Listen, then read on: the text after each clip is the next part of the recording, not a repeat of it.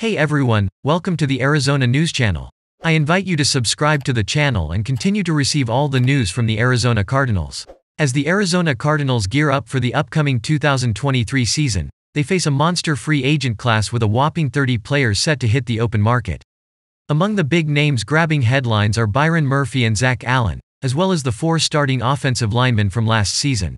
As the days tick down towards free agency, speculation is rife about where these players will end up for the new season. But for one of Arizona's two exclusive restricted free agents, WR Greg Dortch, it seems that he may be sticking around if his tweet is anything to go by. Despite being just 25 years old at the start of the new season, Dortch made a strong impression for the Cardinals last season, stepping up while some of the team's big names were out with injuries. In fact, the three year veteran played in all 16 games and started in four, racking up an impressive 52 receptions for 467 yards and two touchdowns.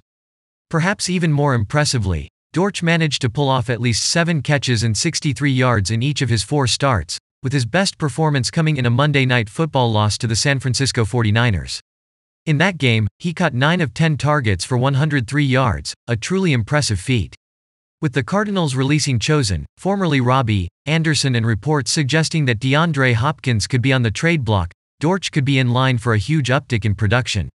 As the team looks to build for the new season, he may be one to watch as he continues to establish himself as a valuable asset on the field. Now tell me Arizona fans, what did you think of this news? Comment here in the comments your opinion. And be sure to subscribe to the channel for the latest Arizona Cardinals news.